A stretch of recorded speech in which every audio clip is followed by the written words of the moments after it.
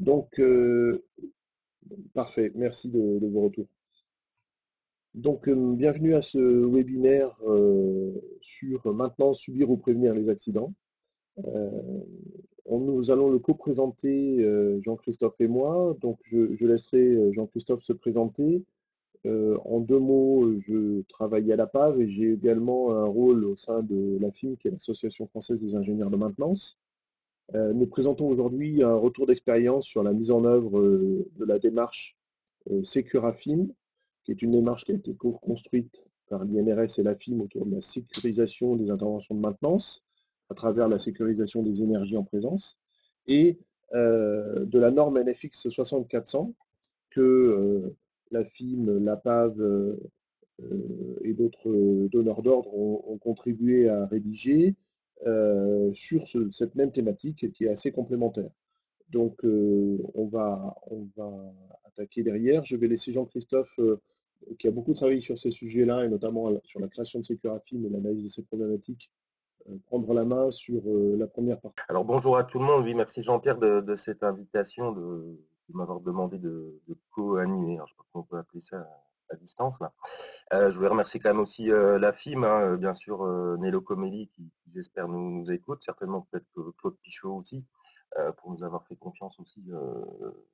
Bah, les trois, la PAV, je remercie également la PAV. Donc on va essayer effectivement de vous, parler de maintenance. Alors le, le, premier slide, c'est vrai qu'en ces temps un peu compliqués, on ne va pas essayer d'être forcément morbide non plus. Euh, mais pour essayer de rappeler qu'effectivement, euh, les acteurs de la maintenance euh, sont surexposés, surexposés à des accidents de travail souvent très graves. alors quelques quelques exemples effectivement effectivement récents, souvent d'ailleurs vus dans la presse ou sur des opérations de maintenance. Là, sur une, opération de maintenance dite habituelle, quelqu'un qui tombe dans une trémie en présence en présence d'énergie, de produits chimiques, de poussière, et donc accidents. Fatalité, fatalité, bien sûr que non, on le verra un petit peu, et c'est l'objectif de, notre présentation d'expliquer pourquoi tout ça, ce, n'est pas forcément de la, fatalité. Un autre exemple, alors pourtant pour, sur des opérations bien connues, sur du risque électrique bien, bien connu, travaux d'élagage à proximité de, lignes électriques. donc des chiffres sur la droite, sur la droite là, de l'écran. Euh, en 2018, effectivement, c'est des chiffres affimes. On estime euh, occurrence euh, d'accidents graves 1,5 fois supérieur à la normale, occurrence de maladies également, et occurrence de, mortalité, elle, très supérieure, et on, verra, on verra tout à l'heure, effectivement, les, les, opérateurs, les intervenants de maintenance sont vraiment au cœur, au cœur des process et vraiment au plus près de l'énergie.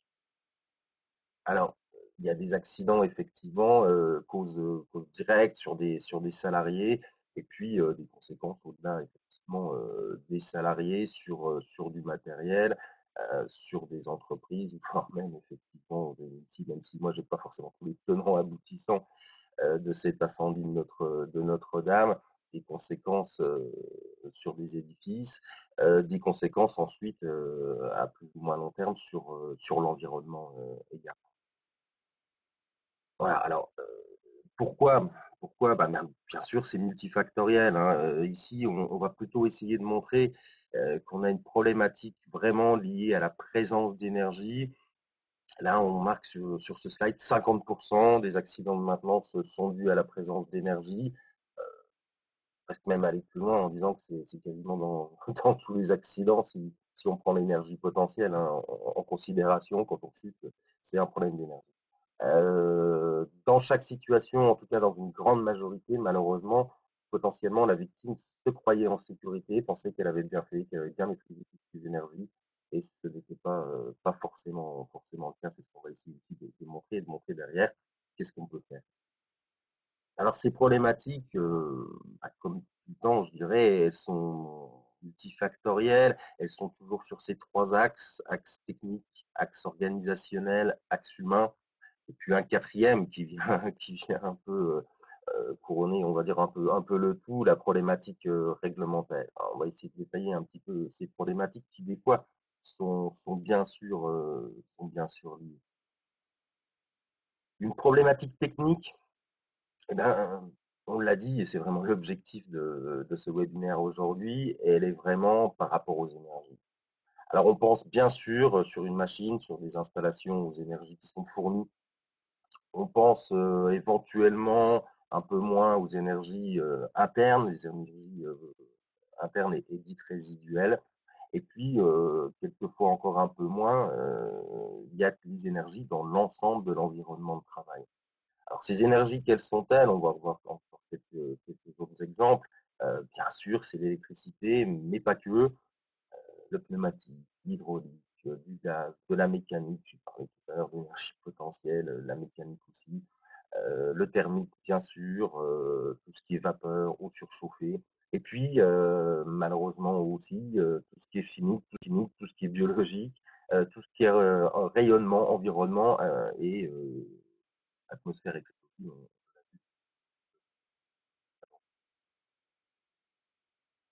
Alors cette problématique technique, heu, bien sûr bien sûr, elle s'explique, d'un point de vue un peu aussi conception, problématique un peu de prise en compte à la conception des installations et des machines, des aspects liés à la maintenance.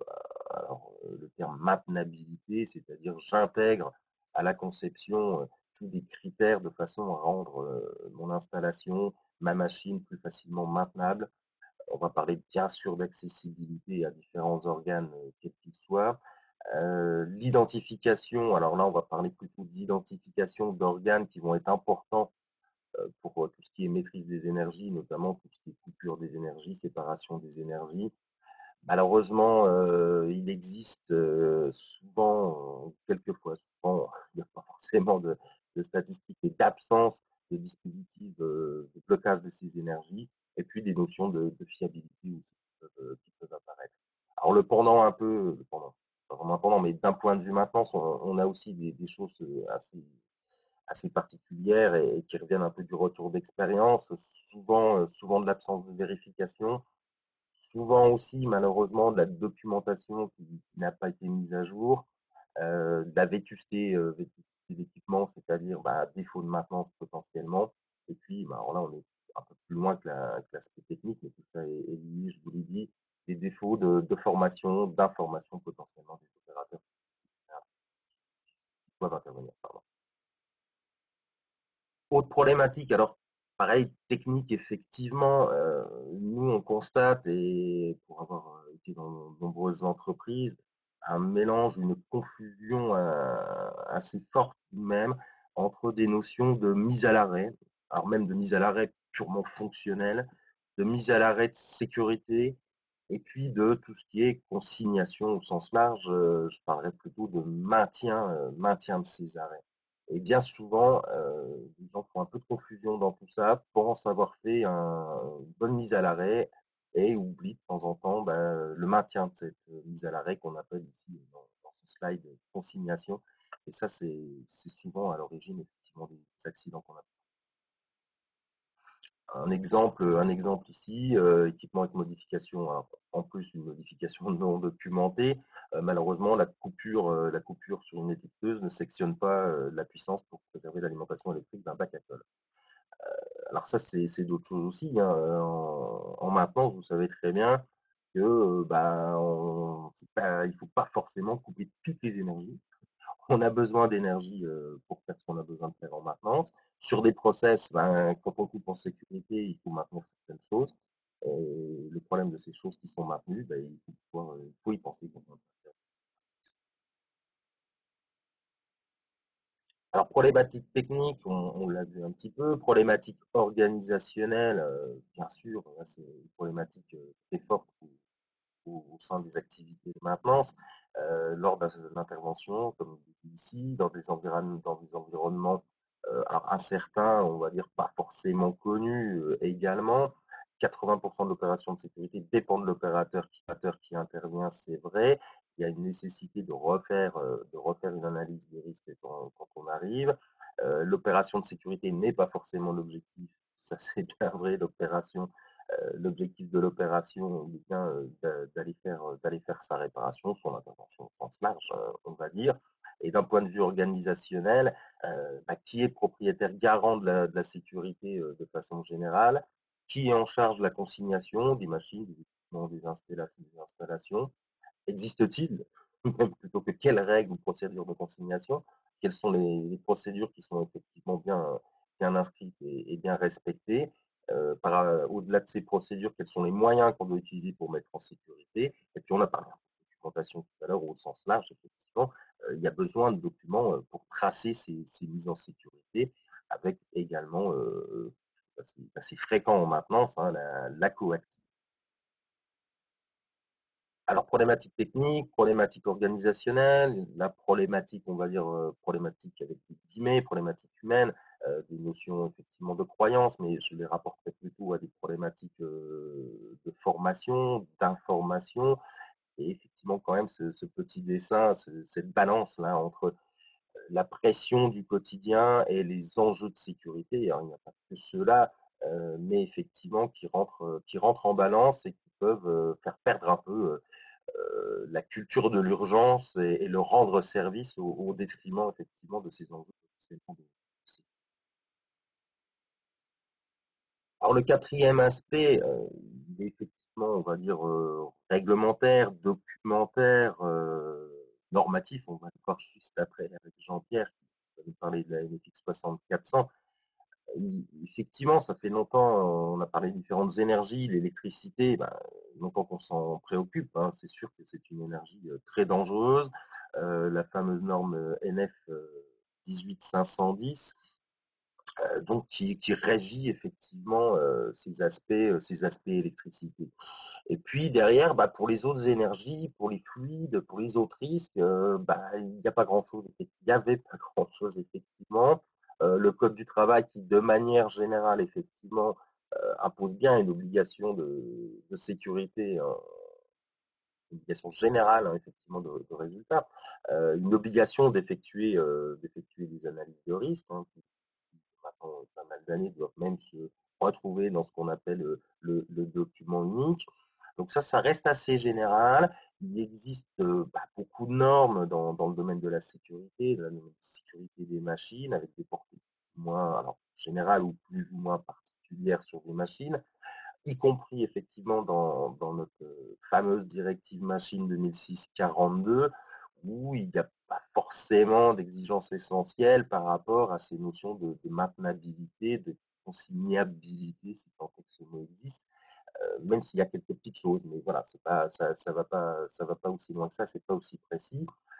Alors depuis longtemps, effectivement, l'INRS a quand même travaillé sur ces aspects consignation. Heu, la brochure, heu, ED 6109 existe de de depuis quelques années. Elle s'appelait ED 754 avant. Heu, d'autres références effectivement au le loto dont on entend énorme énormément parler, le lockout tagout. Heu, effectivement, beaucoup d'entreprises, heu, notamment américaines, utilisent utilisent cette référence, de façon générale. Donc ça, c'est un peu l'état des lieux, alors jusqu'à jusqu'à fin 2017 comme c'est comme c'est écrit en haut du en haut du slide. Différentes références plus ou moins réglementaires, heu, plus ou moins obligatoires effectivement et puis quand même tout de même quelques quelques outils mais heu, bah, pas forcément d'uniformisation, heu, à travers tout ça et pas d'uniformisation par rapport à la problématique des différentes énergies des énergies, j'allais dire, autres que l'énergie, électrique, puisqu'il y a vraiment une focalisation sur cette énergie électrique et on a tendance à en oublier tout le reste. Heu, si on veut remplacer un moteur frein, une chaîne et cetera, bah, la consignation électrique n'est pas forcément, heu, forcément suffisante. Heu, l'environnement de travail effectivement ou même le travail directement, à côté de de vérins pneumatiques, de systèmes réversibles avec des charges entraînantes et ben, ce sont, d'autres énergies, qui dépendent absolument pas de de l'énergie électrique et bien prendre en considération. Alors Jean-Pierre l'a annoncé au départ de de ce webinaire, effectivement, heu, là on va parler un petit peu de la démarche Securafin co-construite, heu, AFIM, AFIM INRS, heu, depuis, presque presque 10 ans, maintenant et tout ça a effectivement, évolué. L'objectif de Securafim, comme son président le disait à l'époque, c'était voilà, ne plus cacher les énergies, mais euh, les rendre visibles. Euh, utiliser cette expression, encore d'ailleurs, euh, du management visuel. Euh, c'est vrai, c'est vrai que quand les choses sont identifiées, quand les choses sont visibles, ben, on gagne déjà un petit peu en, efficacité. Alors, euh, les rendre visibles, c'est une chose, mais euh, avant, de, les rendre visibles, il faut savoir, euh, faut savoir où elles sont. Il faut les lister, euh, lister les différentes énergies qui sont présentes sur une installation, sur une machine. Je l'ai dit tout à l'heure, les énergies entrantes, bien sûr, souvent les plus simples, euh, les plus simples, mais euh, tout ce qu'il y a à l'intérieur d'une machine, ces fameuses énergies euh, internes, voire, voire résiduelles, effectivement. Et puis on a parlé également aussi de, l'environnement quand on intervient en maintenance, il ne faut pas oublier ça c'est pas forcément clos et qui a, euh, qui a, des interactions potentiellement avec son environnement. Et l'objectif de Securafin, donc c'est ça, c'est de, lister ces énergies, ensuite d'identifier et de rendre visibles les organes qui contribuent à, la mise en sécurité vis-à-vis. -vis, on en a parlé un, un, tout à l'heure. ces problèmes de fiabilité, d'existence même potentiellement de, ces organes, euh, des entreprises qui ont mis en marche, en œuvre, pardon, euh, euh, malheureusement, sont aperçues euh, en déployant la méthode que, bah, tiens, c'est ma vanne, ma vanne là, elle est où Comment je fais fluide bah, J'étais persuadé qu'il y en avait une, bah non, il n'y en avait pas. Voilà, donc ça, c'est des choses, c'est des choses qui sont, qui sont très importantes. Et puis ensuite, on a été effectivement sur, sur la base de Securafim aller plus loin et à regarder comment sécuriser les interventions en se basant sur la norme NFX 6400. Cette norme qui, est maintenant, qui est maintenant publiée, eh bien, réintègre toutes les notions, toutes les notions de alors, ce fameux management visuel des, énergies à maîtriser, comment, comment il se concrétise On voit un peu là sur, sur ce slide. Euh, L'importance, effectivement, euh, bah, bah, pour identifier, il faut, pour, pour visualiser, pardon, euh, il faut déjà lister, il faut déjà identifier, il faut représenter. Tout ça, bah, effectivement, ça demande un peu d'investissement, ça demande à, remettre au point un peu tous les documents potentiellement qu'on qu avait déjà avait déjà au sein de l'entreprise. Et puis l'importance de créer une dynamique de prévention, bien sûr, toujours fondée sur l'analyse des, risques ensuite quand on est quand on va les consigner, quand on va intervenir sur sur une machine, sur une installation, qui permet d'acquérir du, réflexe de se mettre en sécurité à partir, euh, à partir de, des différents organes de, coupure et d'avoir euh, effectivement aussi un, regard euh, rapide et un nouveau regard sur ces différents organes d'isolement des énergies. Comme on peut le voir ici, ils sont, tout, de suite, tout de suite visibles. Et puis, ça permet aussi, on a parlé tout à l'heure de, de, maintenance décalée, maintenance pas forcément bien, bien faite, de, fiabilité des, des organes, bah, être attentif différents emplacements et à leur maintien euh, en état. Alors tout ceci, euh, idéalement, euh, à anticiper dès la conception d'une installation, c'est effectivement l'idéal. Quand on a des installations existantes, eh bien, on reprend toute la documentation, on va sur le terrain et on regarde de façon à pouvoir faire, faire ces fiches repères, repérer ces, différents organes.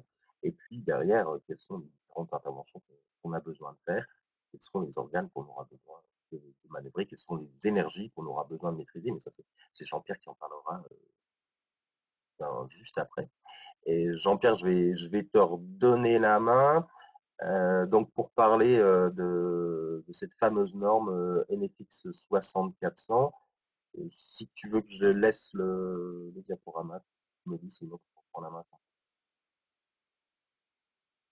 Oui, je vais prendre la main. Je vais juste, euh, si tu peux.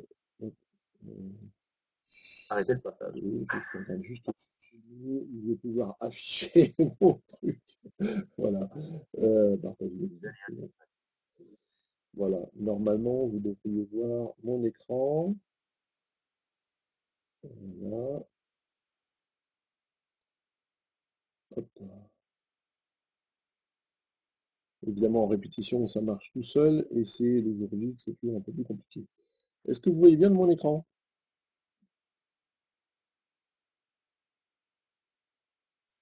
Le droit de parler, je dis oui.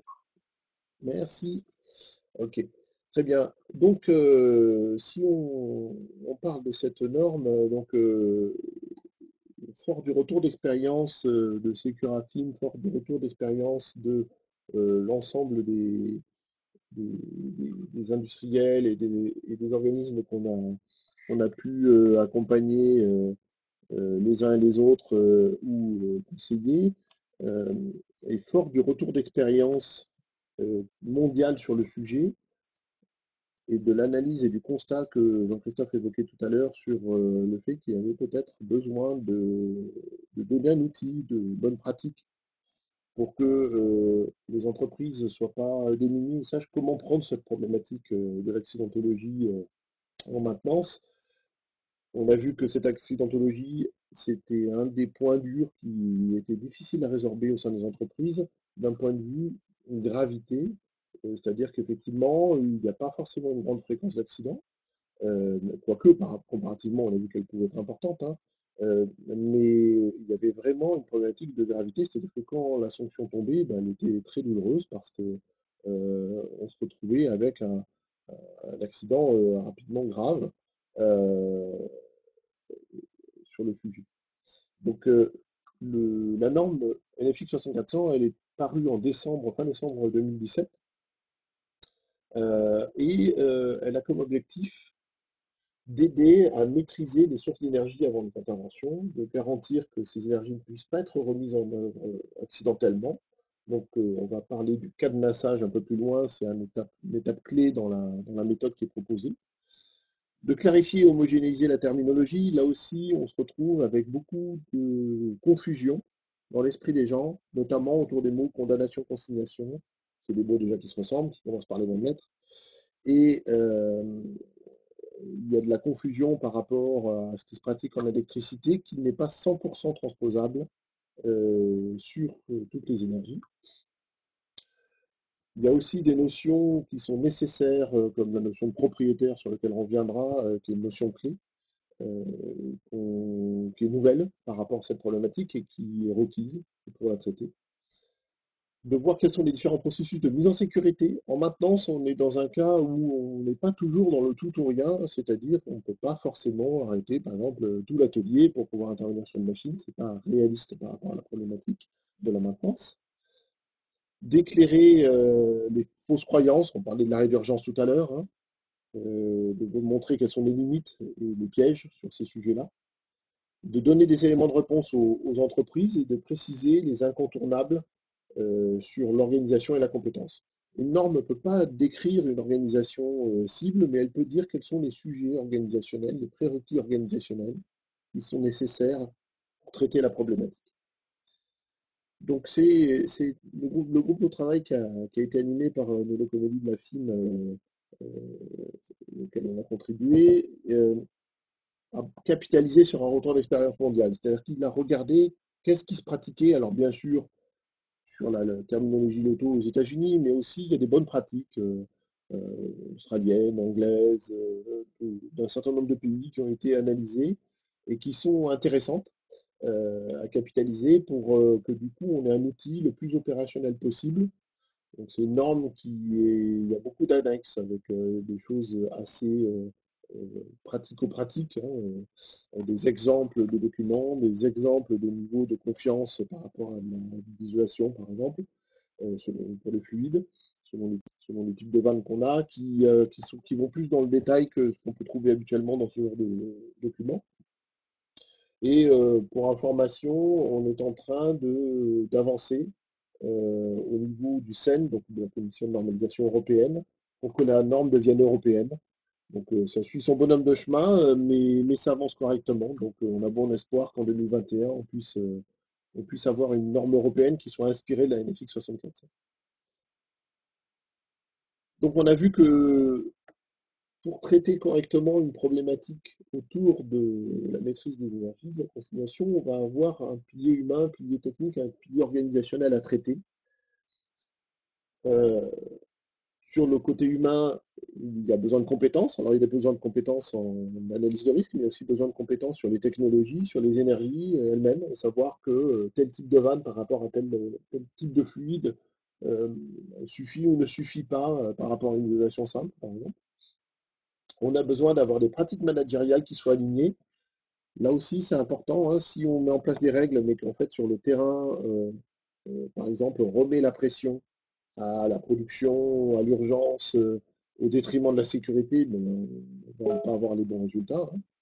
Euh, sur les comportements, on parlait euh, du fait que le management visuel de Securafim pouvait permettre de nouveaux comportements. C'est très important, et on va le voir aussi plus loin, qu'on ait des comportements du type la tête avant les jambes, c'est-à-dire qu'on réfléchisse avant d'agir, avant de mettre les mains dans la machine. Et quand on prend d'autres piliers comme la technique, euh, si votre équipement n'est pas maintenable, n'est pas facilement maintenable, on va mettre euh, en danger les équipes de maintenance, euh, les équipes qui réalisent des opérations techniques sur les équipements. Donc il faut travailler sur la maintenabilité. Et puis aussi la consignabilité, c'est-à-dire la capacité à couper, à séparer des énergies avant les installations sur toute ou partie de la machine. Et puis la fiabilité, on va y revenir, mais si votre équipement est fiable, euh, vous avez moins de défaillances, donc vous avez moins d'occurrences d'exposition aux énergies par les maintenants. Du point de vue organisationnel, il faut des procédures et un processus pour travailler ensemble dans une entreprise. Euh, et euh, on, se retrouve avec une problématique euh, qui est simple, c'est que si vous ne clarifiez pas comment ça marche, vous avez un mainteneur qui commence une, intervention de maintenance et elle déborde sur le poste, il faut qu'il passe la main à son collègue. Si on ne dit pas comment on travaille, comment ça se passe, on va avoir euh, un souci. Si on ne dit pas comment ça s'articule entre la production et la maintenance, on va avoir des soucis. Si on ne pilote pas dans le système de management de la sécurité de l'entreprise euh, cette dimension sur la maîtrise des énergies et cette accidentologie, on va avoir un, système, une organisation qui va dériver. Si on ne travaille pas sur les méthodes de maintenance, sur euh, euh, l'intégration de la consignation euh, à la modification des installations ou aux travaux neufs, dans l'amélioratif, dans le chantier, on va se retrouver avec des problématiques de ce sujet qui ne va pas être pris en compte. C'est des exemples sur ces piliers. Ces trois piliers sont nécessaires. Euh, et effectivement, on ne va pas forcément tout mettre en place d'un coup. C'est déjà pas digérable la plupart du temps pour la plupart des entreprises. Euh, on va travailler en fonction de la maturité, euh, du contexte, des ressources dont vous disposez, des enjeux, de vos priorités. Et on a donné là cinq exemples différents. Donc on va chaque fois donner des retours d'expérience terrain. On n'a pas fait le tour chaque fois pour avoir l'autorisation de, témoigner des industriels. Euh, on, va, avoir, euh, donc par exemple, un du secteur agroalimentaire. Donc c'est un groupe de sept usines. Euh, la première chose qu'on a fait avec euh, eux, c'est de définir quelle était l'organisation cible. Et derrière, on a enchaîné sur des actions de formation sur l'ensemble du personnel euh, concerné, donc euh, tous les services techniques et des gens de la production, on va revenir dessus. Et puis ensuite, on a enchaîné sur de la technique, c'est-à-dire sur de la mise en œuvre de Securafim sur des lignes, c'est-à-dire des fiches repères et euh, des- du macaronnage euh, des équipements avec éventuellement un plan d'action euh, de remise au carré de certaines machines qui avaient euh, effectivement des difficultés à être consignées, euh, qu'il fallait aménager techniquement qu'on puisse le faire. Un autre contexte, donc ça c'est un groupe pharmaceutique de deux, si- de deux usines euh, en Normandie. Euh, le premier c'était euh, dans le centre de la France centre-est. Là en Normandie, ben, la- la- l'approche a été différente. Elle a été de dire la première chose qu'on va faire, de toute façon on a très peu de temps, on va, vous demander, donc là c'est la PAF qui a, été mandatée, pour faire un diagnostic de consignabilité de l'ensemble de nos machines, faire des fiches loto pour l'ensemble de ces machines-là, et euh, les macaronner. Et puis derrière, on va former les équipes pour euh, se repérer par rapport à cette première marche de Securafin, pour se dire comment est-ce que j'utilise cette fiche euh, énergie pour avant mes interventions, pour intervenir en sécurité. Euh, et euh, là, on va attaquer euh, l'élaboration de modes opératoires de mise en sécurité C'est-à-dire qu'on va regarder les opérations récurrentes et pour ces opérations récurrentes, on va dire quel est le mode opératoire applicable. Ça peut faire gagner du temps dans l'analyse de risque et fiabiliser cette analyse de risque. On, aussi, on va y revenir. Donc là, il y avait 400 équipements à traiter en, 4 mois. Dans le nucléaire, encore une autre approche. il y avait, bon, le nucléaire, c'est toujours très, très structuré, mais il y avait besoin de former les équipes à ce sujet de, maîtrise des risques toute énergie. Donc, bien sûr, la partie radio-éléments était plutôt bien bordée, mais le reste moins. Donc, il y avait besoin de, travailler sur cette prise en compte de toutes les énergies dans les approches maintenance. Et euh, ils se sont aperçus derrière que euh, effectivement il y avait des trous dans la raquette d'un point de vue organisationnel, même s'ils pensaient être assez matures, parce que la prise en compte du multi-énergie n'était pas, était pas suffisante. Euh, un autre exemple dans une, dans une PME, là la problématique elle était simple, il y avait peu de personnes à maintenance, hein, il y était 6, et donc ils ont décidé plutôt de faire une formation action sur Securafil sur lequel on, les a, leur a donné euh, euh, les, clés pour être capable de mettre en œuvre quelque chose d'assez simple et de pré-configuré quelque part. Et puis ils ont demandé un petit peu de soutien technique derrière parce qu'ils avaient des problématiques euh, de temps et de compétences pour analyser suffisamment finement certains équipements pour faire ces fiches repères et être capable d'avancer. Un dernier exemple sur de la métallurgie. donc là, de nouveau, on a pris un, sujet où on a abordé par la technique, euh, toujours euh, des fiches repères énergie, mais en même temps qu'on travaillait sur ces fiches repères énergie, on a détecté tout un plan d'action de remise en conformité et euh, d'amélioration de la consignabilité des installations. Donc en fait, il y a eu une passe assez en profondeur sur les machines qui avaient été faites, qui étaient plutôt anciennes et qui avaient beaucoup, qui avaient beaucoup évolué, pour les remettre au carré d'un point de vue directive machine et les améliorer d'un point de vue sécurité au sens large, d'un point de vue exploitation et d'un point de vue consignabilité. Derrière euh, cette passe-là, il y a une organisation qui a été mise en place pour euh, permettre la, sécurisation et le processus de sécurisation, de mise en sécurité et des formations.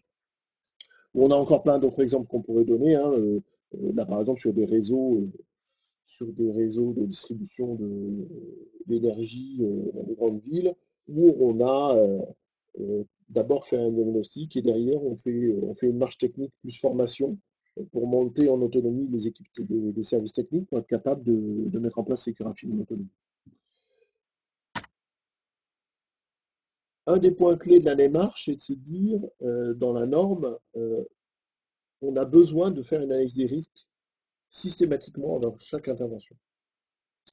Euh, pourquoi? Parce que quand on regarde euh, un périmètre d'installation, un équipement pour faire simple, on a plusieurs énergies qui peuvent des énergies sources et, qu'il faut maîtriser. Donc il faut savoir comment est-ce que je dois me mettre en sécurité, c'est-à-dire en fonction de où je touche, qu'est-ce que je touche dans la machine, qu'est-ce que je vais faire comme opération, de mon environnement, euh, de faire une vraie analyse de risque pour déterminer quel est le niveau d'isolation qu'on va euh, choisir. Donc on a préféré des terminologies du type isolation renforcée isolation simple pour qu'on ait moins de confusion dans la terminologie. L'isolation renforcée étant j'interromps l'énergie je la sépare, donc il n'y a plus présence du danger. L'isolation simple étant j'interromps l'énergie, donc il y a toujours présence, mais l'énergie est bloquée. Donc on a besoin euh, d'intégrer réellement cette dimension dans le comportement au quotidien. C'est vraiment essentiel. Euh, on s'aperçoit que si on ne travaille pas ce comportement sécurité, cette culture sécurité, on va se retrouver avec un retour des vieux démons sur des pratiques et des courts-circuits. Et les gens, pour gagner du temps, ils vont euh, court-circuiter cette analyse de risque et travailler par habitude. Et l'habitude, euh, ça crée de la tolérance au risque et ça crée des accidents. Donc il faut vraiment euh, changer le comportement, changer la culture sécurité des équipes techniques sur le sujet, mais aussi des équipes de production pour que tout le monde ait ce réflexe du stop, le temps d'observation au préalable, de réfléchir un petit peu avant d'intervenir. Ce n'est pas les quelques minutes qu'on va perdre, euh, qui sont si importantes que ça d'un point de vue de la prod par rapport au risque qu'on prend à intervenir sans réfléchir.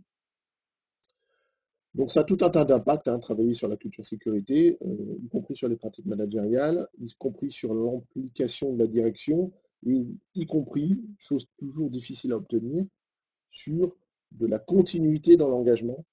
Euh, quand on va lancer ce genre de, démarche, souvent il y a de l'énergie au début, c'est toujours un petit peu long, un petit peu compliqué de mettre en œuvre les choses. Si on lâche l'affaire euh, au niveau de la direction générale et on passe à une autre priorité, on n'agit pas sur la culture, on n'agit pas sur les comportements et on a un retour des dérives. Euh, là aussi, par expérience, il faut 3 à 5 ans, 5 ans pour changer une culture d'entreprise sur le sujet. Donc ça nécessite quand même un engagement important et surtout long. Ce que je vous montre là, c'est le cœur de la NFX 6400. C'est vraiment euh, la logique centrale sur comment est-ce que je dois prendre le problème sur cette maîtrise des énergies.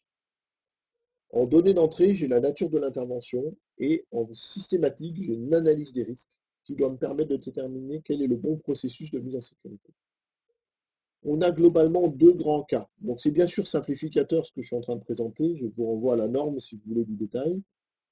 La partie gauche, on est sur une intervention où on a vraiment euh, une intervention technique où on va remplacer des composants, on va vraiment mettre les mains dedans. Et là, l'analyse des risques va nous dire si on doit faire de l'isolation renforcée par la conciliation des énergies ou si on peut tolérer une isolation simple avec une simple condamnation, éventuellement avec des mesures compensatoires. Alors pourquoi tolérer une isolation simple?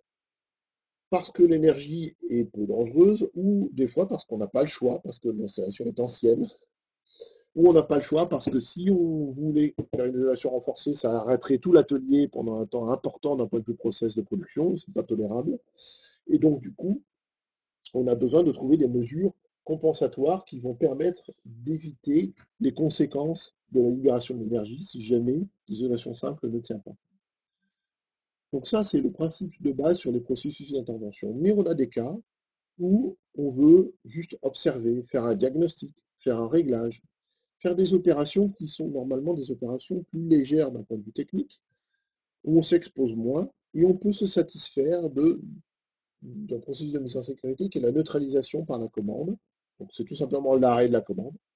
Mais assorti à cette neutralisation, on va avoir des mesures techniques et organisationnelles qui vont garantir qu'on ne va pas s'exposer à un risque.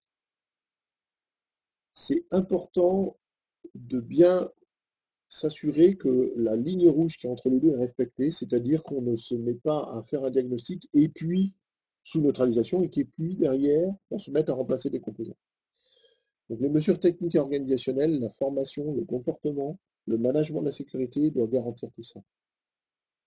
Et puis, on a certains cas de dispositions spécifiques aux opérations en présence d'énergie. Tout simplement, l'observation d'une défaillance euh, sur une machine. On est obligé de faire tourner la machine pour voir qu'est-ce qui se passe et essayer de comprendre quelle est la panne. Et là, on a des mesures compensatoires obligatoires qui, sont euh, euh, très, très importantes. Dans la norme, vous allez trouver une checklist de toutes les choses qu'on n'a pas pu faire et qui, si elles sont toutes cochées non, autorisent à aller dans cette case-là. voilà, on est plutôt dans ce sens-là, dans le sens de dire, il n'y a aucune raison de se mettre, euh, de s'exposer à un risque. Donc vérifiez bien qu'il n'y a vraiment pas le choix. Et donc il y a sept ou huit critères euh, auxquels on doit répondre. Non, pour avoir le droit de faire ça. Par contre, c'est aussi la réalité du métier d'avoir quelques cas où on n'a pas le choix, où on est obligé de le faire. Ça ne veut pas dire qu'on s'expose, ça veut dire qu'on maîtrise euh, le risque, mais d'une manière différente, par un processus de mise en sécurité différent. On a sur les trois colonnes de gauche une démarche de cadenassage qui doit permettre de maintenir le niveau de sécurité qu'on aura obtenu. Euh, si on met en place tout un tas de choses et que quelqu'un rouvre les vannes, ben, on a perdu le niveau de sécurité, donc ça ne sert à rien.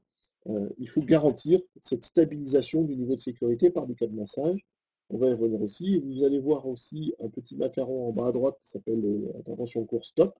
Donc ça, dans la mallette Securafilm, vous en avez une dotation bien sûr en standard. C'est des, des, magnettes, euh, des macarons magnétisés, euh, magnétiques pardon, et, perforés qui permettent à un intervenant de, de, se repérer sur une machine en disant, euh, en étant sur la console, en disant je suis en train d'intervenir, au-delà du cadenassage, ne faites pas euh, quoi que ce soit sur la machine. On a vu que dans la NFX 6400, on a évoqué, il y avait des annexes.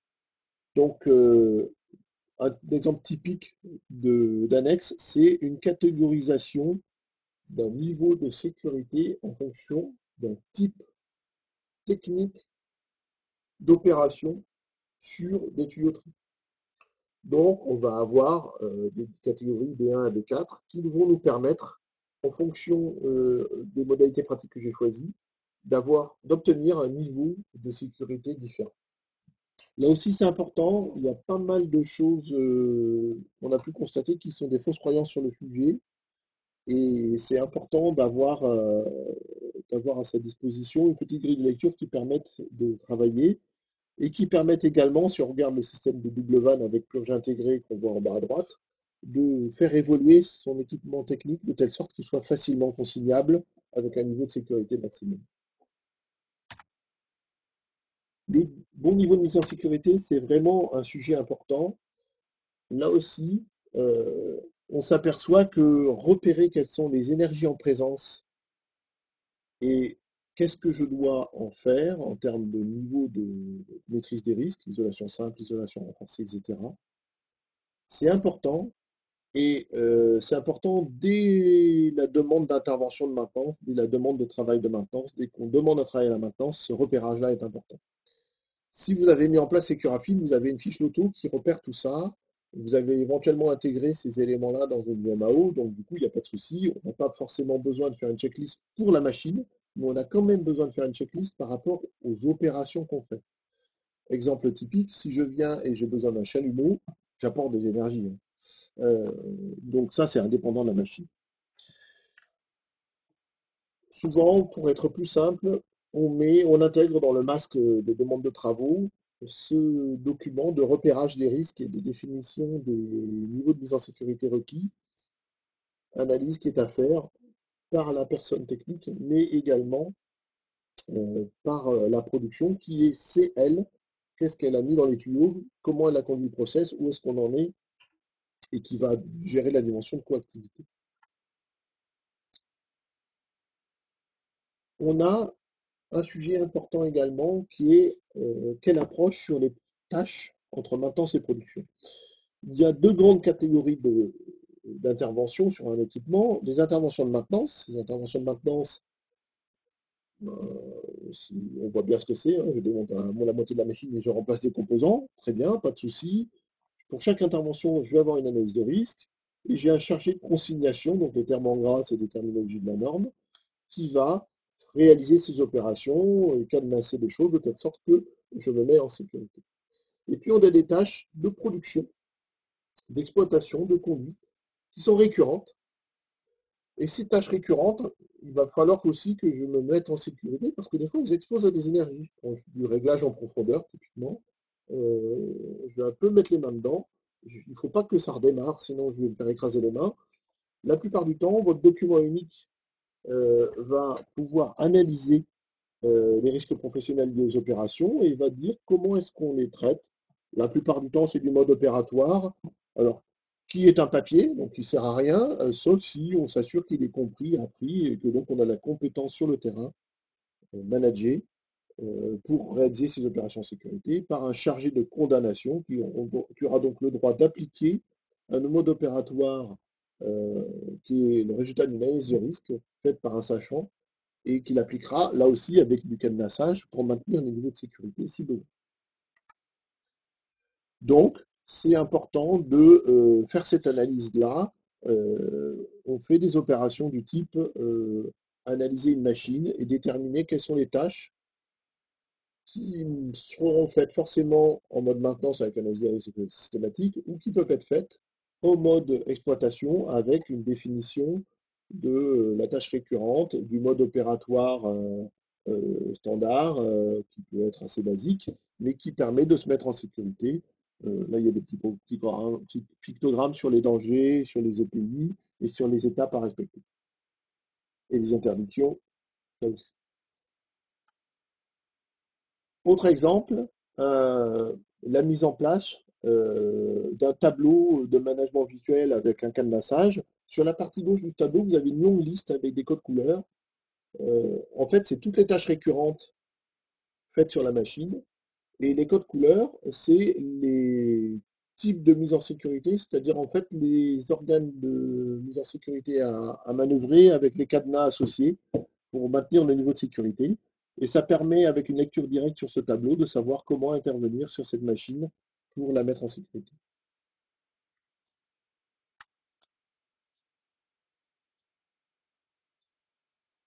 La neutralisation euh, par circuit de commande, il y a quand même des prérequis qu'on précise euh, dans la norme qui ne sont pas si évidents que ça. Déjà, il faut que la machine soit conforme, parce que sinon, euh, la mise en sécurité n'en sera pas une avec la, commande. Il faut s'assurer que si on a fait des modifications, on a bien intégré cette dimension-là. De bien vérifier que les dispositifs de sécurité fonctionnent bien, euh, les arrêts d'urgence, les portes, etc. Comment est-ce que le réarmement se passe? Comment est-ce qu'on s'assure que la coactivité est interdite? Donc avant de faire quoi que ce soit et d'autoriser quoi que ce soit et de déterminer comment est-ce qu'on va utiliser cette neutralisation, il faut faire, euh, et un mode il faut faire un recensement de tous les coups de poing, coups les systèmes d'arrêt d'urgence, euh, porte barrière immatérielle, arrêt d'urgence, coup de poing simple, etc., pour savoir qu'est-ce qui couvre vraiment et quel est leur niveau de fiabilité à la PAV, on est confronté régulièrement à de l'analyse de conformité machine et on s'aperçoit souvent qu'en sortie constructeur, les machines ne sont pas forcément si conformes que ça. Euh, on a récemment accompagné une entreprise euh, qui avait été rachetée et le racheteur s'est aperçu que euh, à la conception, tous les organes de mise en sécurité du type arrêt d'urgence, etc., n'étaient pas en architecture sécurisée, soit câblés, soit automates de, de sécurité. Et du coup, en fait, ce n'était pas du tout sécurisé. Et c'est un grand typique, c'est un grand classique euh, d'avoir des, problématiques de ce type-là, euh, d'avoir des machines qui ne sont pas si conformes que ça, soit à la livraison, soit par les modifications successives pendant leur vie, parce que la machine est là depuis 5, 10, 15, 20 ans. Le cadenassage, c'est une notion dans la norme qui est importante avec trois niveaux de cadenassage. En jaune, on va avoir l'intervenant, en vert, on va avoir euh, ce qu'on appelle le responsable des consignations, celui qui est un peu le, chef d'orchestre et qui va s'assurer que tout se fait correctement, et des cadenas rouges qui sont sur les machines euh, et qui vont permettre de repérer les, organes qu'on a mis en sécurité. Là aussi, si on met des panneaux euh, par machine avec les cadenas qui vont bien, une boîte à clés associée à la machine, ça permet de systématiser, de fiabiliser le cadenassage parce qu'en fait, quand on arrive sur la machine, on prend le réflexe d'aller chercher les cadenas. On a la fiche loto au milieu euh, qui permet de savoir euh, où sont les, organes et, de ne pas se tromper de vanne. Euh, les cadenas rouges à gauche qui se déverrouillent qu'en cas d'intervention. Donc on sait qu'on est en train d'intervenir et la boîte à clés avec le cadenas vert du responsable qui va permettre de verrouiller l'ensemble du système. Ça, ça fonctionne, euh, ça fonctionne bien, euh, notamment sur des équipements sur lesquels il ne faut surtout pas se tromper et on veut gagner du temps. Ça évite aussi de se trimballer quand même avec des, paquets de cadenas dans la poche. Ce n'est pas négligeable euh, l'expérience.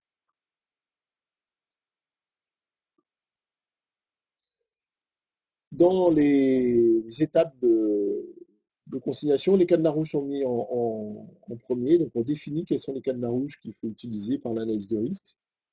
On met les clés des cadenas rouges dans la boîte à clés et le responsable euh, va cadenasser la boîte de telle sorte euh, que plus personne ne puisse manœuvrer les euh, vannes, les points de consignation.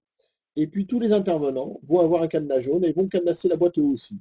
Ça, ça permet, si on est plusieurs à intervenir, éventuellement de manière désynchronisée, qu'il n'y a plus personne en train d'intervenir sur la machine qu'on récupère les clés rouges. Ça sert à ça. Donc j'ai un électricien, un mécanicien, euh, une entreprise extérieure, etc. Chacun a son cadenas, chacun le met. Un cadenas jaune, c'est une vie. Et donc du coup, ça permet de s'assurer que même le chargé de consignation ne fait pas d'erreur et ne rouvre pas la boîte alors qu'il y a encore des gens sur la machine.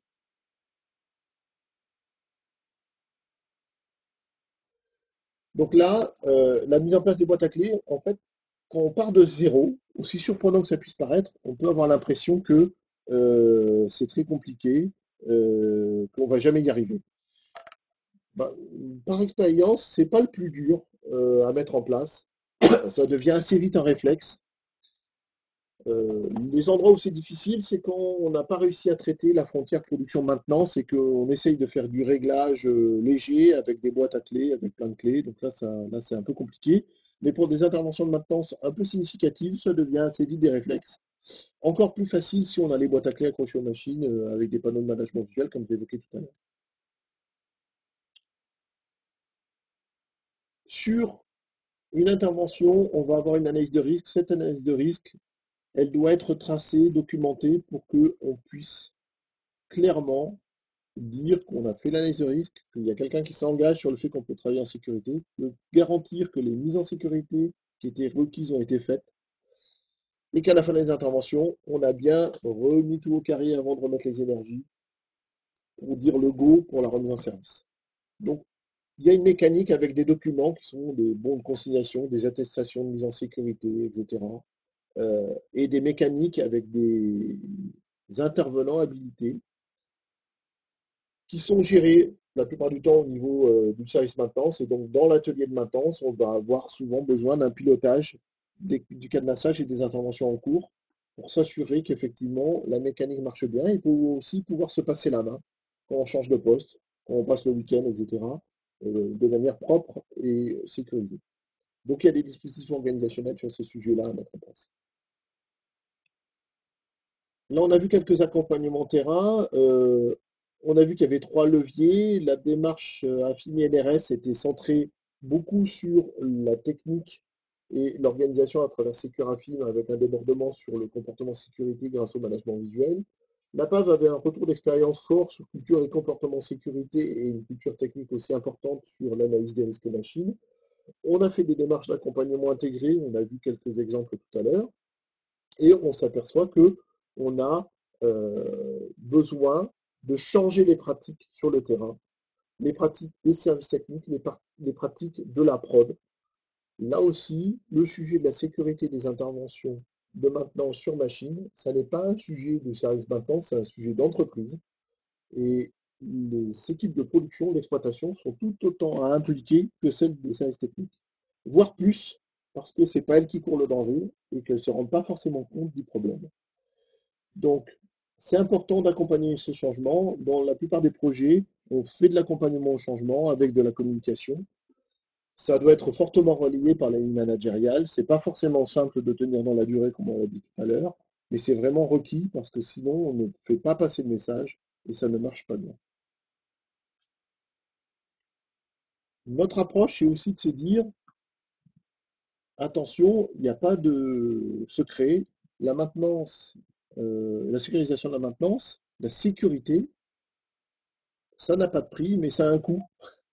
Quand on va mettre en place des mesures organisationnelles, des formations, euh, de l'organisation, ça va avoir un coût, évidemment, si on se met à analyser les risques avant chaque intervention, si on se met à poser des cadenas, si on se met à remplir des papiers, on prendra plus de temps avant d'intervenir forcément. Même si on réfléchit un peu plus qu'avant et qu'on gagne un petit peu de temps euh, dans la pertinence de, l'intervention de maintenance, on va quand même prendre un peu de temps à se mettre en sécurité et à décadenasser.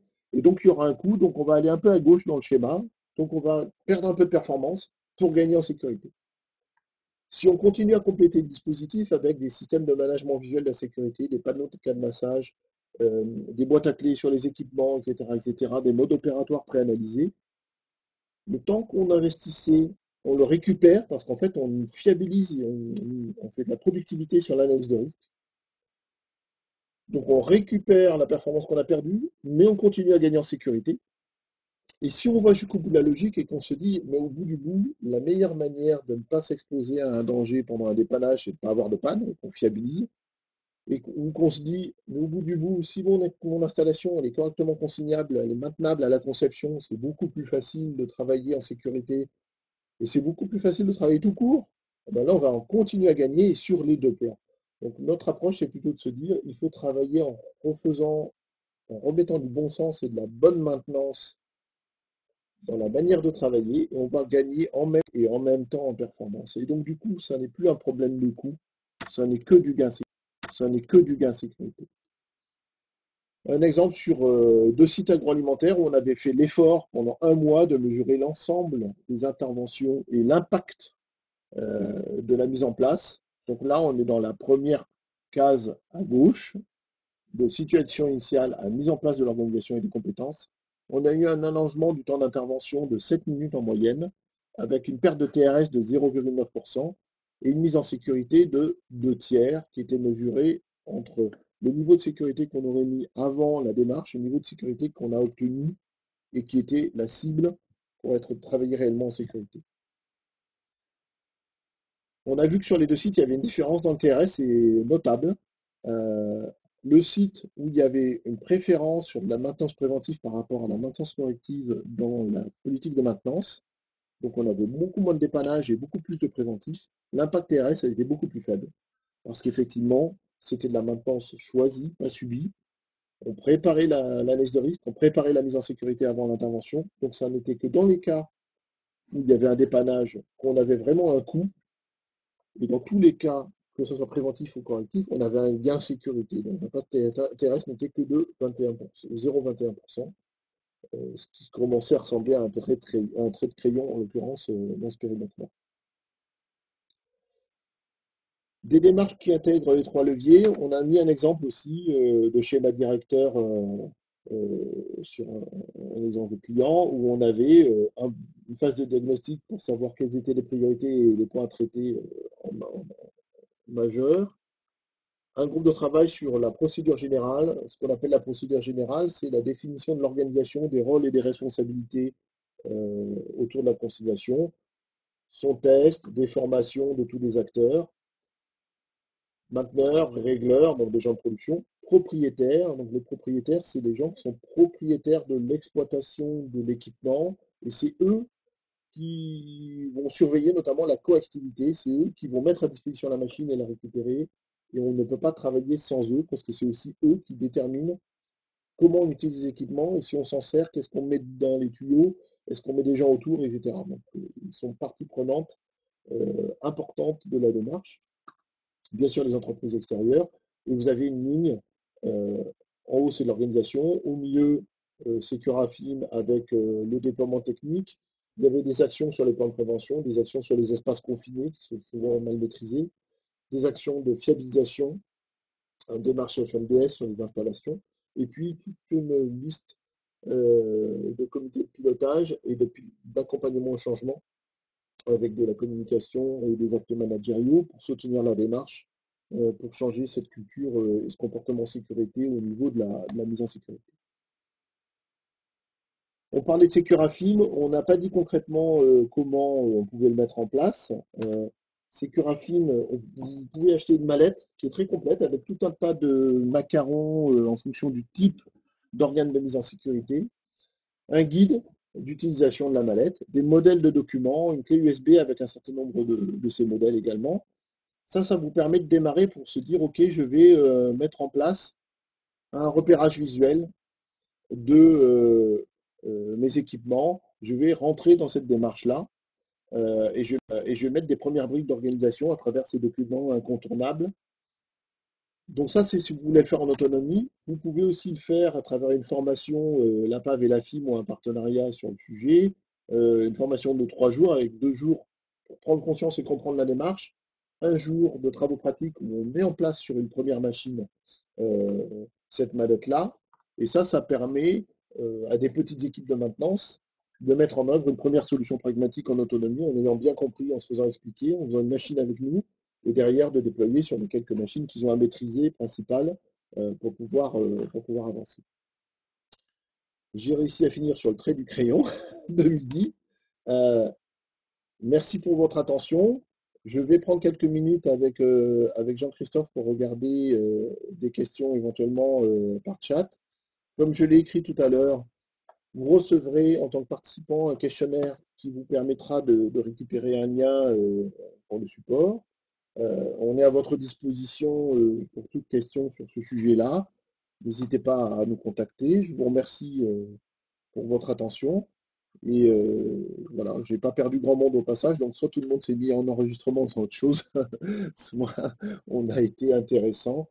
Désolé pour la densité du support, c'est toujours un petit peu la course, même si on l'allège. Est-ce que Jean-Christophe, tu veux juste dire un mot de conclusion également? Euh, Ouais, non, mais merci beaucoup euh, encore une fois, Jean-Pierre. Félicitations, hein, quand même, midi, là. Moi, je ça- j'aurais voulu faire exprès, ça n'a pas réussi. Euh, donc, euh, effectivement, c'est dense. Je crois qu'il y a des gens qui demandent un peu les supports et puis, bon, euh, continuer à, contacter euh, la FIM, l'INRS et la PAF sur, euh, sur ces sujets-là. On est, on est à votre disposition.